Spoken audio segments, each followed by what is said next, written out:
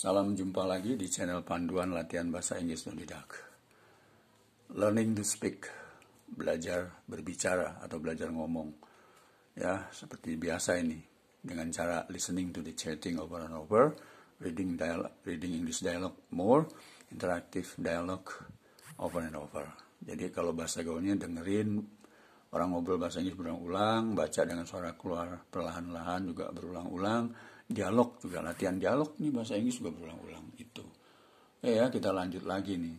Sekarang udah fokus ke past tense, present tense, present perfect, future nih. Udah mulai nah lihat kita lihat tensinya. Oh ternyata belum ditaman. Ini cenderung ini oh begini. Ini saya menulis sengaja ini. Ini tanpa panduan ya teman-teman. Dialog bahasa Inggris tanpa panduan. Ini mohon maaf ini. Ini fakta di lapangan. Saya langsung aja begini ini saya akan jelaskan nanti. Lihat nih bahasa Inggris tanpa panduan seperti ini. Ya boleh, nggak dilarang, silahkan, boleh aja. Kalau memang teman-teman tertarik latihan seperti ini, ya welcome, nggak masalah. Cuma kan fakta di lapangan selama ini sulit berkembang kelihatannya. Ini nggak standar SPOK intinya gitu, oke ya. Si Eto sama si Dio lagi ngobrol nih. Coba lihat nih, nanti kan saya tulis gini. Atau saya baca dulu aja deh nanti baru apa ulasannya. Si Eto bilang gini, sorry, where do you live? I live in Sikinaraya Street, Jakarta. You long live here? No, only two years. You here to work? Yes, I'm work here as marketing street, Jatinegara area. What job, eh? The job about insurance in the bank private, in bank private. Gitu. How much you salary, bro? In month 3 million. By the way, BTW, you how much? Wah, itu. Ini bahasa bahasa begini nih.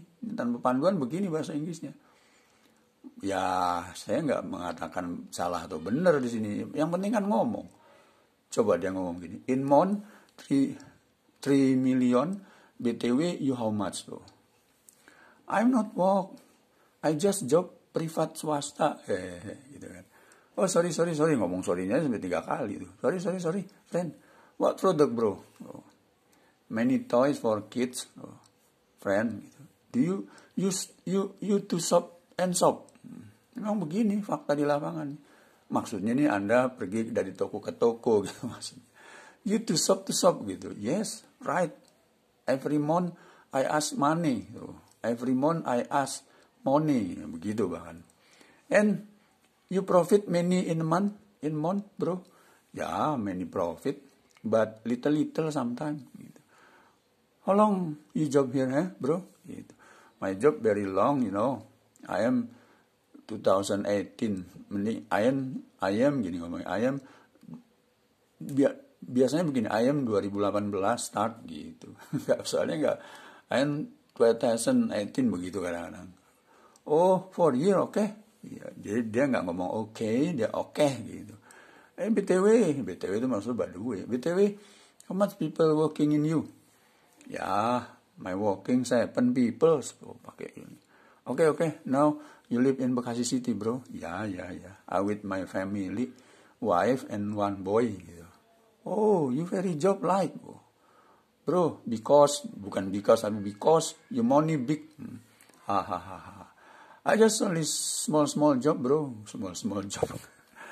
small small become hill. Also private good. You must reach semua. Maksudnya begini sedikit-dikit menjadi bukit gitu Jadi disamain sama bahasa Indonesia nih. Saya denger aja gitu kadang-kadang ya mau ketawa nggak ketawa gimana?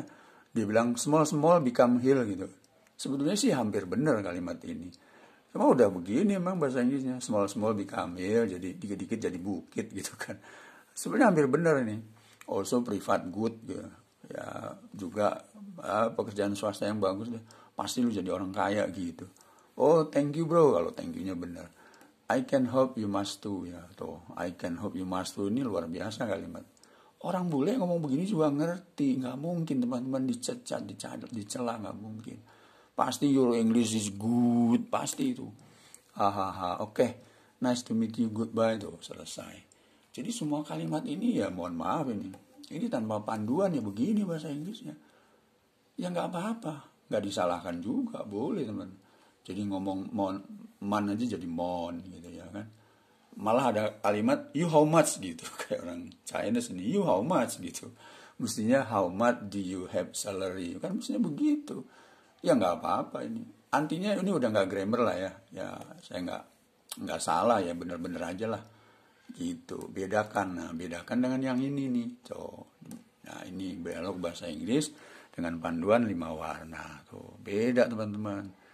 Ya nggak apa-apa teman-teman milih ini juga boleh nggak masalah pokoknya harus yakin gitu ngomong sama si bule. Pasti dipuji lah nggak mungkin dicacat sama si bule. Oh bahasa Inggrisnya jelek? Lo enggak orang bule nggak pernah begitu. Your English is good. I love it. Oh, begitu biasanya. Hahaha oke okay, gitu. Biasanya oke okay, gitu. Nggak oke. Okay. oke okay, ya sekarang nih lihat. Ini si Amo sama si Dio nih. Excuse me tuh. Ini bahasa pakai panduan nih. Oke ya, saya baca aja. Excuse me, where do you live? Tuh. Oh sebentar, ini, ini where do you live juga sama nih. Nah, where do you live? Karena makanya saya tulis SP itu, hafalan. Ini kan hafalan, bener kalimatnya. I live in Cikina, kan bener tuh. Ini namanya kalimat benar tapi hafalan. Ini kalau udah ke sini nggak ada yang kuning. Ada nggak yang kuning di sini? Tuh ini bener tuh kalau yang kuning bener. Ini bener. Karena kan hafalan sifatnya. Kalau yang begini-begini nih, I just only small small job gitu. Small small become heal katanya gitu. Ya nggak apa-apa juga sih ngomong gitu ya. Mohon maaf nih teman-teman ya. Saya kan denger aja, saya juga ngikutin aja, saya ngikutin. Nggak pernah saya nyacat, nggak pernah. Wow bagus bahasa Inggrisnya men, gitu. Oke okay, oke, okay. makasih makasih, thank you. Gitu. Nggak pernah saya memperbaiki bu, nggak perlu. Ya memang udah begitu bahasa Inggrisnya gitu ya. Si Amok sama si Dio ngomong gini Excuse me, where do you live? I live in Patrick Lumumba Street near Government Bank. Mohon maaf, saya potong lagi. Saya nggak merasa benar di sini ya, nggak merasa benar sekali, nggak. Pasti ada salah dikit, salah pronunciation. Memang sengaja. Nggak perlu sempurna dulu belajar bahasa Inggris gitu. Saya nggak merasa ini merasa benar, paling benar, nggak. Paling terbaik, nggak. Biasa, ini kalimat biasa, ini kalimat standar gitu maksudnya. Kalau kalimat udah ini ya udah kayak wartawan baru Gitu. Oke ya, gitu. Saya ulang lagi nih. Excuse me, where do you live? I live in Patrick Lumumba Street near Government Bank. How long have you been living there, bro? I've been living there since I was born.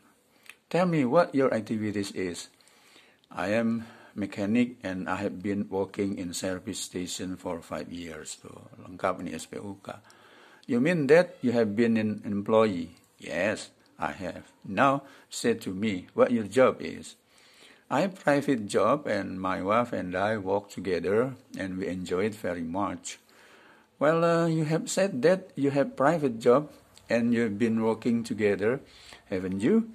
By the way, how much do you get the profit in a month? Yes, we get one. Then have to save my profitness in every month. Sorry, do you get five million rupees in a month? I would say that you are really correct, brother. Well done. Congratulations, bro. Thank you very much. I believe that you are going to be a director. I mean that you will be having your own business sooner or later.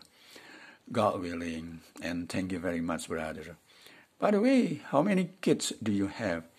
Yes, I have one son and one daughter. He is 12 years and she is uh, 10 years old. I think that you are not only success as a good mechanic, but also having two cute kids. Well, uh, many thanks, brother, and good luck. You're welcome. Bye. Itu teman-teman. Ya mohon maaf nih, saya harus membanding, ya, menulis ini. Ini cuma contoh aja. Dua-duanya bisa ditiru kok. Saya nggak melarang ini juga. Silahkan teman-teman gitu. Yang penting kan komunikasi gitu. Tapi kan kalau selama ini kepingin gitu ya inilah cara ngomong begini diulang-ulang excuse me bukan excuse ya. Excuse me coba diulang-ulang. Excuse me gitu. bukan excuse me bukan. Excuse me tuh. mana ada tempat tinggal tuh Atik Lumumba Street dekat bank pemerintah gitu. Kan sama ambil dialog nih. Sebenarnya temanya sama sama ini. Ya pertanyaannya juga sama tuh how long have you been living there tuh? Udah berapa lama anda tinggal di situ bro I've been living there since I was born. Tuh, saya tinggal di Patrick Lumba sejak saya lahir, tuh, sejak saya dilahirkan. Tuh, pakai past tense. Coba lihat tuh. Saya lihat singgung dulu tensis bayangan. Tensisnya lima nih. Ada present perfect non verbal, ada past tense non verbal tuh. Ada present Jadi lengkap tuh ada future. Ini lima tensis teman-teman ngobrol ya begini udah umum nih. udah internasional banget ini bukan anak kecil ini gitu coba aja teman-teman ngulang ini jadi berulang-ulang diapalin ngomong sendiri ngomong berdua di keluarga gitu. Jangan lihat temanya. Semakin sering teman-teman melatih ini nanti akan terbiasa lidahnya terbiasa gitu. Kan nggak sadar nambah kosakata di sini nambah pemahaman gitu. Ya saya ulang lagi. I've been living there jadi sini nah sekarang nih ceritain dong aktivitasnya apa sih gitu nih bahasa ini embedded question nih isinya di belakang nih. Nggak perlu dibahas nanti teman-teman ngerti sendiri. I am mechanic and I have been working in service station for five years. Saya seorang montir kalau bahasa gaulnya. Udah bekerja di service ya lima tahun gitu. Lo maksudnya uh, you mean that you have been an employee? Maksudnya lo jadi karyawan? Iya yes I have. Now say to me, what is your job is? Sekarang dia balik tanya nih si Dio nanya si Amo. Sekarang ceritain lo kerja apa lo? Gitu. Kalau bahasa gue gitu, Anda bekerja di mana gitu? I have private job and my wife and I work together and we enjoy very much. Oh, saya punya pekerjaan swasta lah gitu. Kan tadi di situ ada small small job kan gini. I have private job tuh privat nih pekerjaan swasta. Istri dan saya juga bekerja sama gitu. Oh, saya menikmati banget ya kerjaan itu begitu. Well, uh, you have said that you have private job and you have been working together, haven't you? By the way, how much do you get profitness in a month? Tuh, langsung nanya kan. Kalau tadi kan, oh, you how much gitu kalau tadi kan. You how much itu kan bahasa Mandarin. Well, uh, New Well ini bahasa basi nih. Tadi kan lu bilang gini, lu punya pekerjaan di privat, kerja sama dengan istrinya nggak? Ya kan gitu. Ngomong-ngomong berapa penghasilan lu sebulan tuh begitu. Kalau di kan tadi you how much gitu we, yes we get one ya kami dapat penghasilan. Kami juga harus nabung lah sedikit-sedikit setiap bulan gitu. Sorry do you get 5 million Rob bang? Maaf. Anda dapat 5, 5 juta sebulan? Ya saya bilang setuju deh mendapat begitu. Yes yes correct.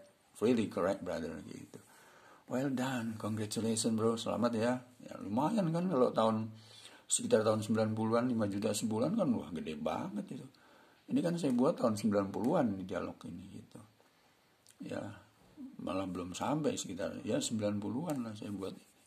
Ya thank you very much. I believe that you are going to be a director. I mean that you will be having your own business sooner or later. Oh, selamat ya. Oh makasih bos. Ya makasih friend gitu.